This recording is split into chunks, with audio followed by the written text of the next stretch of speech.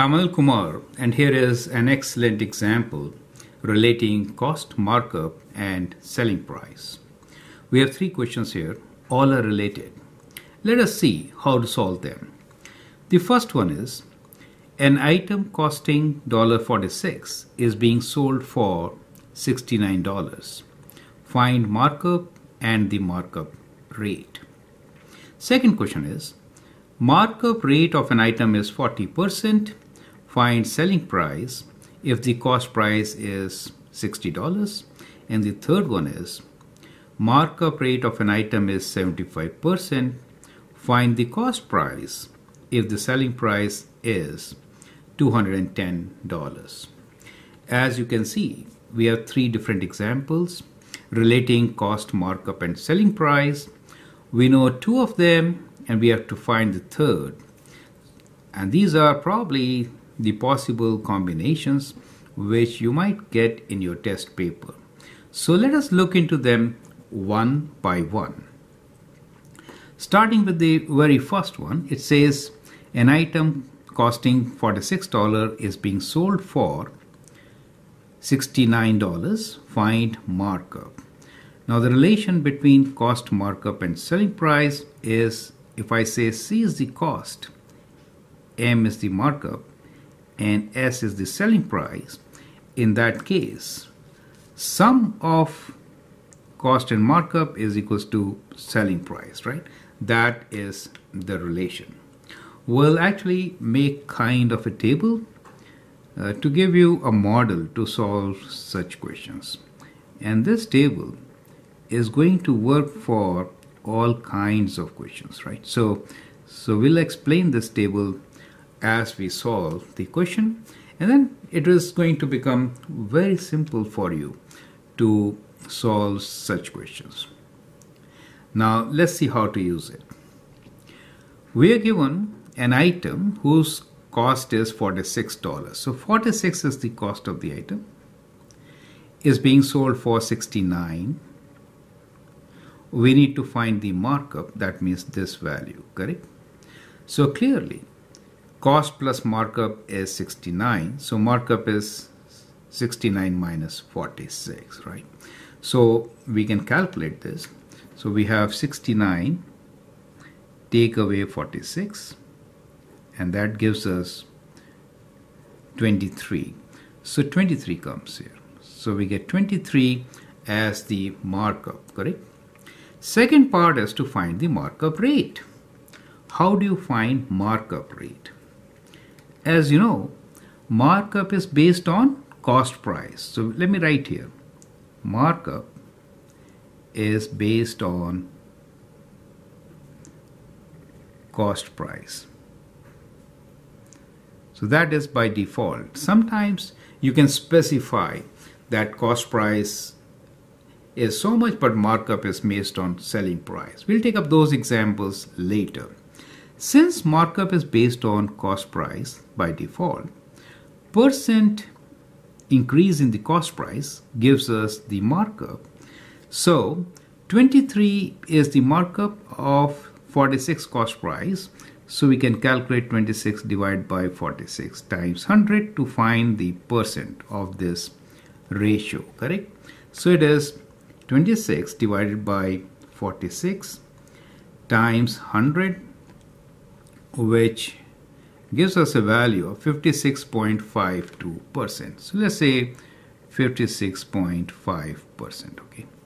So that is how you can calculate the markup rate, right? So so we can say markup rate is 56.5%. So we use this row to indicate percent, right?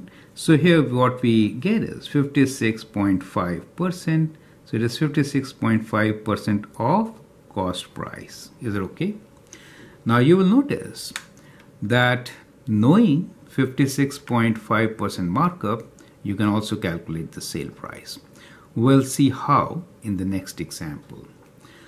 So the next example here is Markup rate of an item is 40%. So we are given the markup rate. This time find selling price if the cost price is $60. So let's begin with our model. So we'll again sketch one, right? So we'll sketch one here. And uh, since we are given percent, we'll write it there. So what we have here is cost price, markup, and selling price. So we know markup percent this time, right? We know cost price plus markup is equals to selling price. What are we given?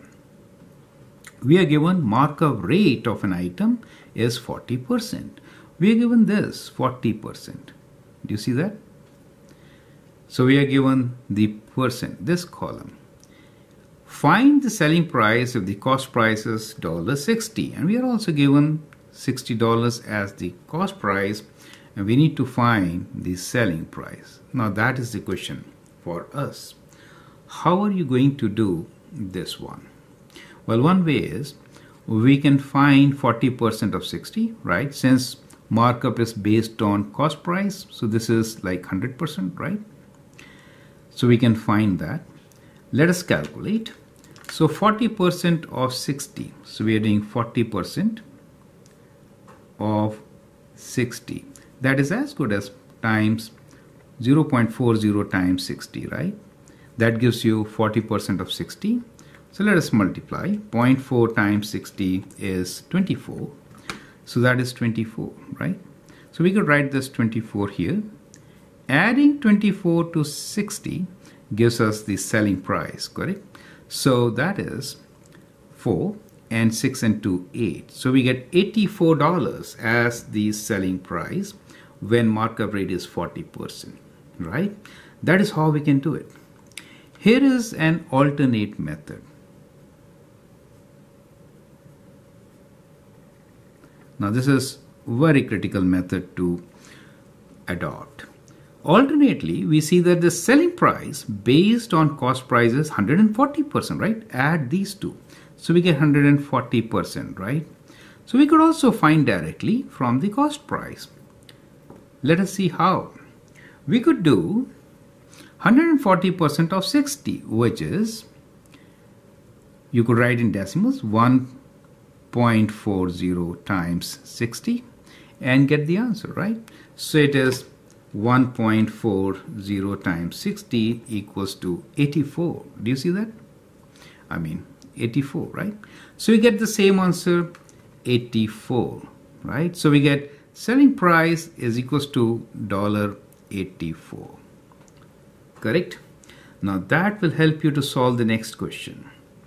The last question here is markup rate of an item is 75%. That means we are given this value. Find the cost price this time if the selling price is given to you, right? You can now pause the video, solve the question, and then look into my suggestions. This is indeed a thinking question. It is not that simple. So I'd like you to pause the video, copy the question and answer.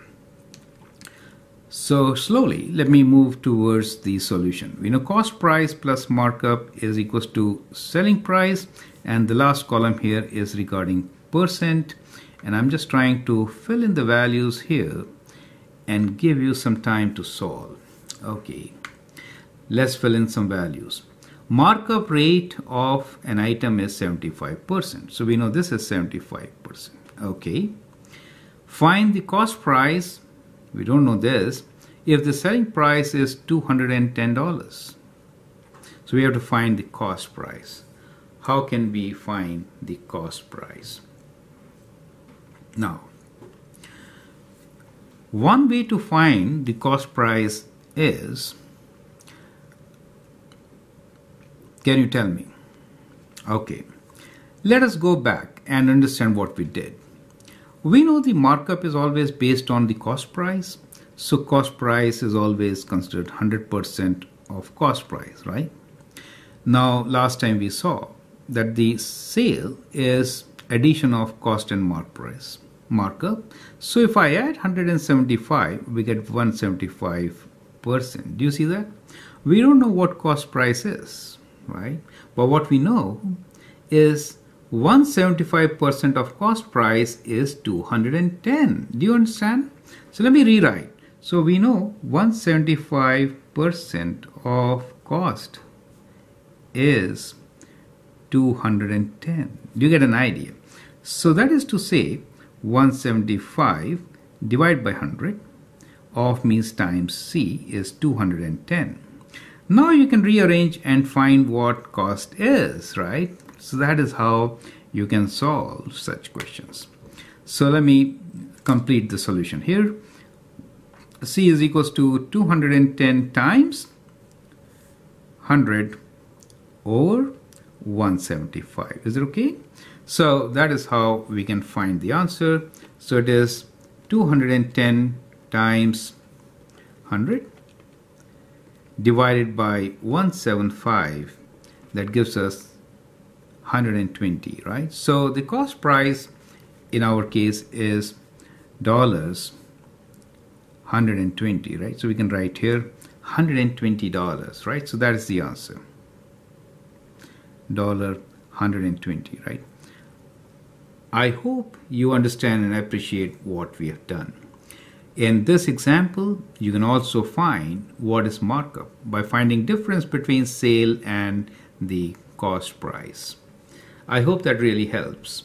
We can take few more examples to understand this process completely. I'm Anil Kumar. You can share and subscribe my videos to learn a lot. Thank you and all the best.